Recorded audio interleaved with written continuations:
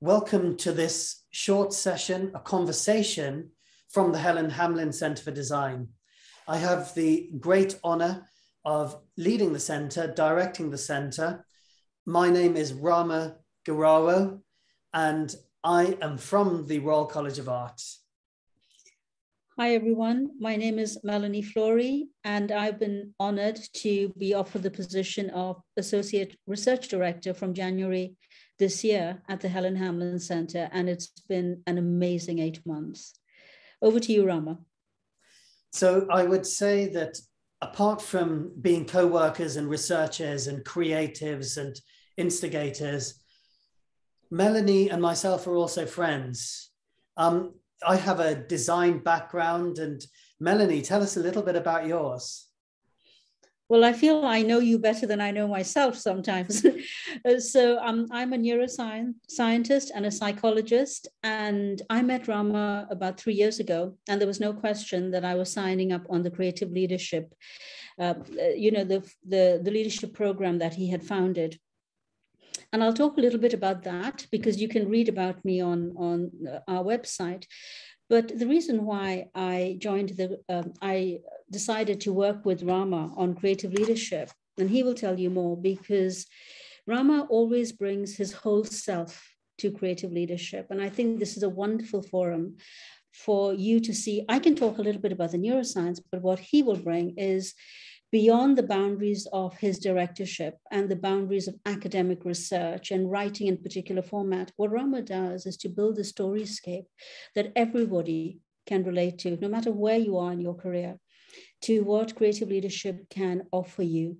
And today, I hope we will be speaking into that space of beyond uh, the boundaries of technology and what creativity can do when it's embedded in empathy and clarity. And what I, as a neuroscientist, can lend to this is that without um, the empathy and the clarity, uh, creativity can actually literally drive you into insanity. And this is why I joined this program.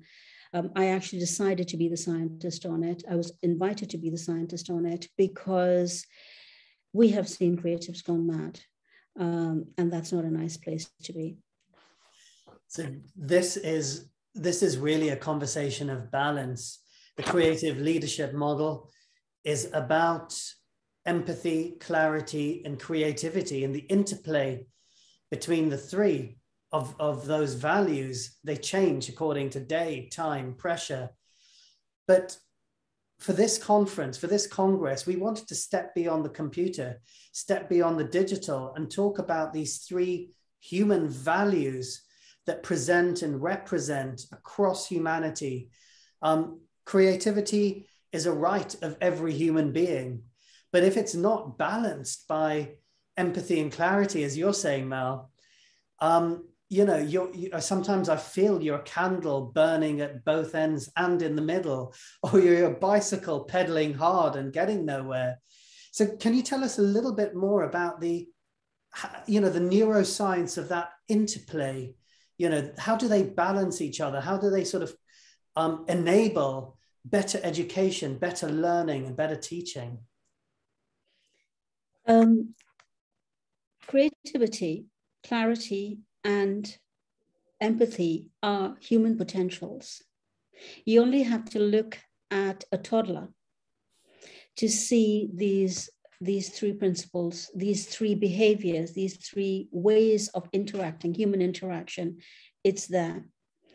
Um, you know, the creativity of a toddler in 12 different ways to hoist myself up from crawling, right, to be able to walk um, the empathy that human beings teach a toddler by going to help them.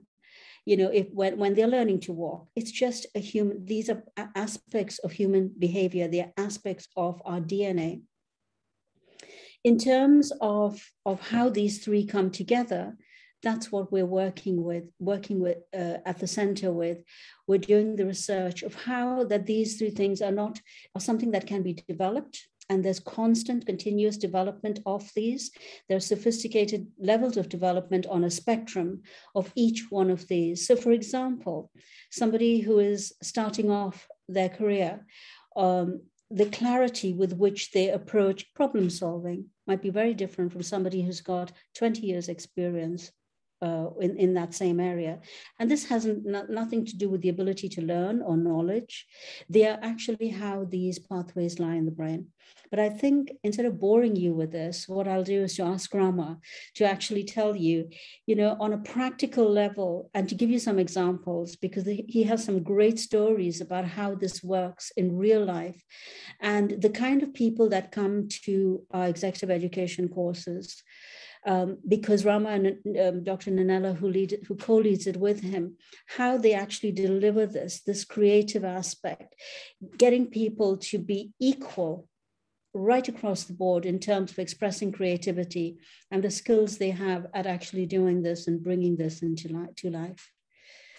It's a it's a beautiful moment because we we think of creativity as a human attribute you know if um if creativity is a cloud design is the rain.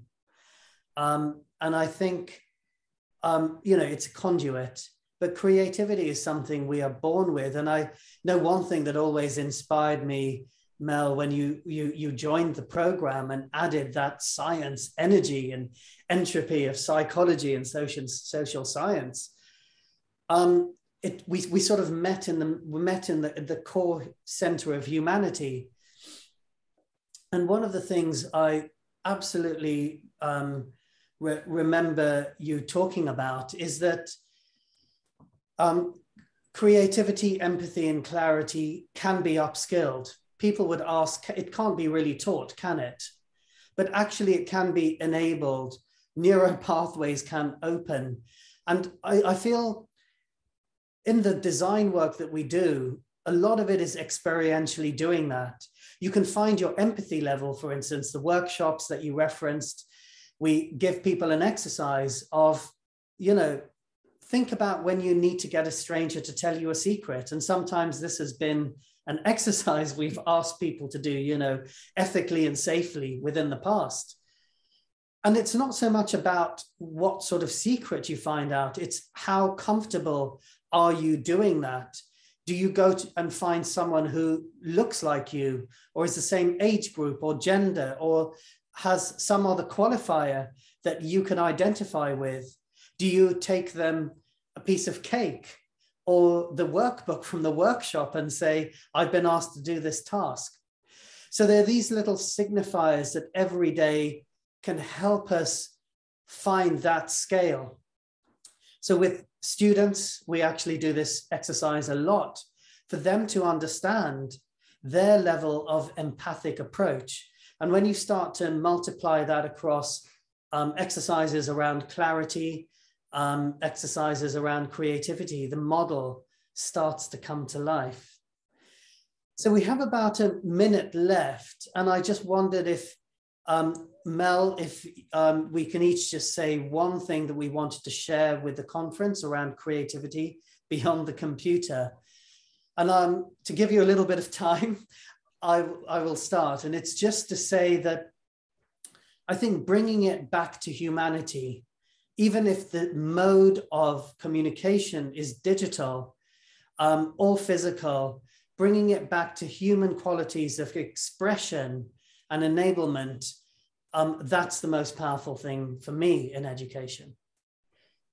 I'd like to sum up creativity is just look around you, just where you're sitting right now, look around you and look at those things, anything around you, and pick up what is creative in that. Right now, I'm sitting here and I've got a glass of water. What is that? What is the creativity that went around making this? You are already being creative just by engaging in imaginative thought. So we're all creative and it's definitely beyond a computer.